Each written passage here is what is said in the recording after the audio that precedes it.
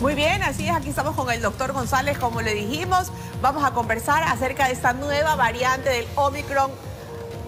Ay, ¿cómo es? b Sí, correcto. Mi querido doctor, ¿cómo está? Muy buenos días. Cuénteme algo, dicen que por ahí es medio familia del Omicron, pero ¿tiene algún otro síntoma que sea diferente? ¿Presenta alguna otra diferencia? Muy buenos días, nena, gracias por la invitación. Eh, efectivamente, tiene una relación estrechamente cercana con la variante Omicron, la prima hermana, como podríamos decir, ¿no? Esta, este, este virus va a generar, esta situación va a generar múltiples eh, líneas sintomáticas respiratorias como la anterior, como la prima hermana, ¿no?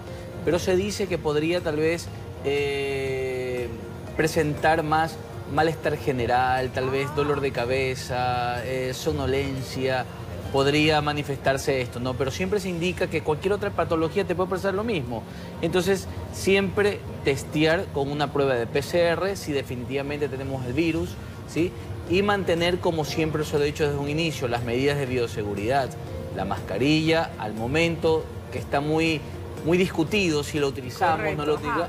Al momento, seguir las medidas que el Ministerio de Salud Pública nos recomienda, que es la protección con las mascarillas, el distanciamiento y lo principal ahora, la higiene de manos sin dejar atrás la vacunación. Y eso le iba a preguntar, doctor, ¿la vacuna nos serviría también para esta nueva cepa del COVID-BA2?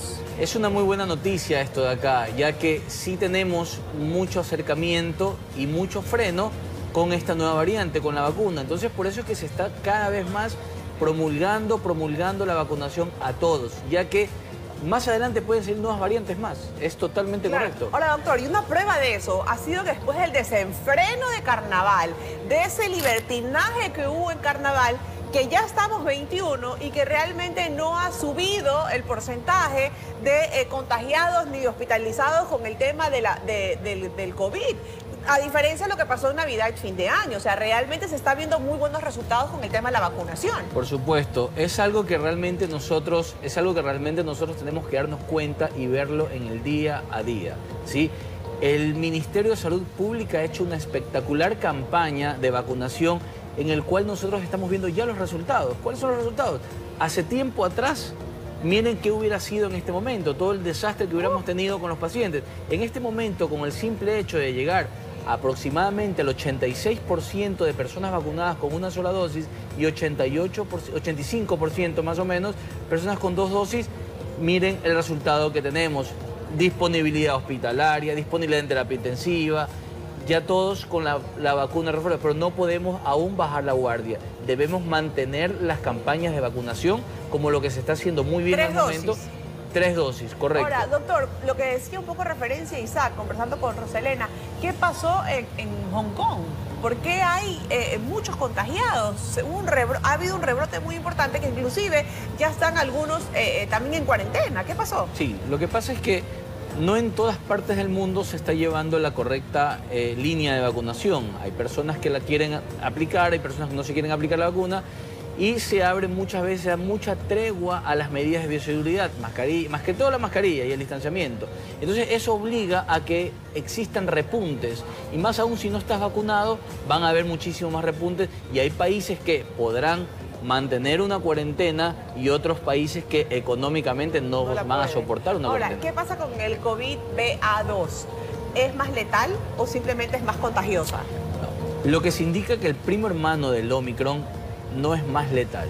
Es mucho más contagioso que el mismo Omicron, pero puede ser frenado sin ningún inconveniente con la vacuna. Podemos llegar a un freno con la vacuna.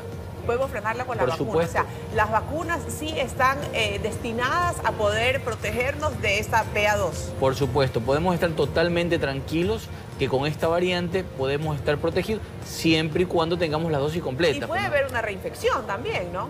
Que lo hemos visto, hemos sido testigos, le pasó a nuestra compañera Luisa, a José Luis, a algunos compañeros. El que te haya dado COVID no quiere decir que no te vaya a volver a dar. Puede ocasionarte nuevamente una infección, pero no va a ser una infección grave que vas a terminar en una terapia intensiva, en una UCI. ¿Y si le da por primera vez, que nunca le ha dado COVID? Por primera vez, si nunca le ha dado COVID y no está vacunada, probablemente sí va a tener tal vez un desarrollo un poco más agresivo en una terapia intensiva, en un centro hospitalario. Ok, pues, doctor, ¿es verdad eso que se dice que el COVID reduce la masa encefálica? No. Hay muchas... Pues hay muchos mito. mitos y verdades, ¿no? Correcto, por eso Hay muchos mitos y verdades. Es más, ahora todo le echan la culpa al COVID. Todo, eh, cualquier situación que presente el paciente o cualquier inconveniente que presente, COVID, COVID, COVID. No, hay muchas situaciones. El mundo es más abierto. O sea, tenemos muchas cosas más que el COVID que poder pensar. Patologías, hipertensiones, diabetes mellitus, cualquier otro tipo de situaciones patológicas que hay que poner mucho énfasis y no descuidarlas enfocarnos solamente en una patología, en este caso una enfermedad viral del COVID, y dejar atrás los hipertensos no toman su medicamento, los diabéticos no toman sus medicamentos, o las personas que necesitan tratamientos crónicos no la toman pensando solamente en una patología. Debemos abrirnos un poco más que esto ya va reduciendo a medida de la vacuna. Ok, para terminar, doctor, ¿usted cree que con la llegada del BA2 se va a retrasar que nos permitan quitarnos la mascarilla? Momentáneamente no podemos hablar de quitarnos la mascarilla. Nosotros tenemos que seguir los indicativos del Ministerio de Salud Pública. Mientras aún ellos, con todos sus estudios, con todos sus progresos, no puedan determinar un retiro de mascarilla, debemos mantenernos con las medidas de bioseguridad. Y no solamente con la mascarilla, con la higiene de manos y el distanciamiento persona a persona y continuar siempre con vacuna. Algo que no me voy a cansar de repetirlo siempre, la vacuna salva vidas. Perfecto, gracias doctor, como siempre un gusto. Creo que es importante haber tenido aquí al doctor para conversar acerca de muchas cosas que se dicen, muchas cosas que se comentan y sobre todo estar instruidos. Y lo más importante es seguirnos cuidando y si aún no nos hemos vacunado o le falta alguna dosis, hacerlo. Estamos a tiempo y está comprobado que definitivamente la vacuna nos ayuda. ¿Qué hubiera pasado en Ecuador si no nos hubiéramos estado vacunados la mayoría después de ese desenfreno que hubo en carnaval? No quisiera ni recordar que hubiera sido tal como fue marzo del 2020. Isaac y Emiliana, seguimos con ustedes.